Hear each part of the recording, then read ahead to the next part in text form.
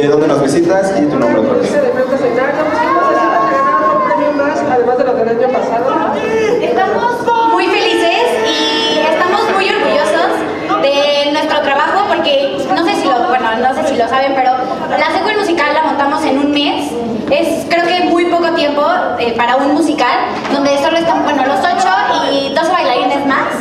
Entonces estamos muy orgullosos del trabajo de todos y muy felices y gracias a todos Claro. los que Claro, además debemos aclarar que fue una de las categorías más difíciles, porque estábamos compitiendo contra otras dos, bueno, tres increíbles obras y estábamos un poco, bueno, musicales, estábamos muy nerviosos, pero la verdad gracias a los fans y gracias a todos los que nos apoyaron, pues hoy tenemos un enojó porque no entré a la entrevista. Ah, no, y también creo que parte del apoyo fue por el productor Pedro Ortiz de Pinedo. Nos apoya siempre y bueno, bajo la dirección de, del Venado, que igual siempre está ahí con nosotros y no nos dejan. Y somos una familia y creo que parte de eso es. Pero principalmente a todos los fans que estuvieron votando muchísimo, porque yo entraba a Twitter y a las 2 de la mañana estaban votando.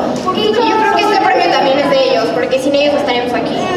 La verdad. Siguiente pregunta. Hola chavos, yo soy de REM, revista Eres Niños. Este, ya llevan un tiempo juntos. ¿Qué ha sido lo más difícil en, en la convivencia de ustedes? Es la primera pregunta. Y la segunda, ¿qué planes vienen más adelante? Este, pues, dificultades en la convivencia ninguna. Yo creo que los ocho nos llevamos, sí, tenemos una corta discusión, pero pues, este, llevamos casi más de dos años juntos. Somos como, somos una familia, suena cosita. Ah. Ok, pero pues, no, nos llevamos muy bien todos. Este, y lo que viene ahorita es la secu concierto, que empezamos la próxima semana en, en Monterrey. Monterrey. Este, y son canciones nuevas, tenemos coreografías nuevas y cosas, muchas, muchas cosas nuevas. Muchos ensayos, muy cansado, muy divertido también. ¿Otra pregunta? Tenía dos preguntas. Ya. Bueno, este, a mí me preguntan mucho en internet de las fechas, de las giras, y ya tienen algunas fechas para informarles a sus fans dónde van a presentar. Pues ahorita solo tenemos la de Monterrey, que es el 27. Y el 4 de octubre vamos a ir a Toluca. Esas son como las únicas seguras.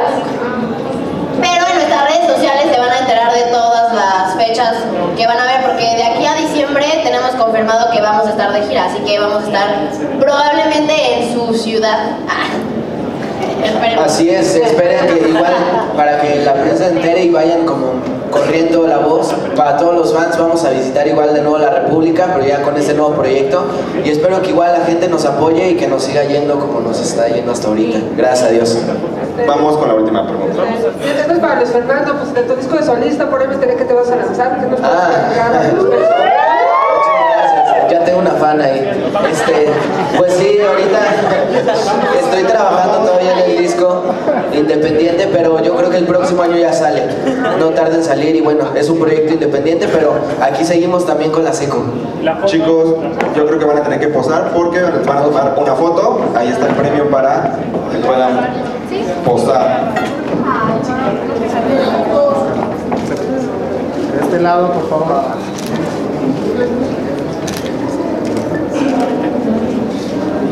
Nada más, por favor. Hacia acá está la cámara.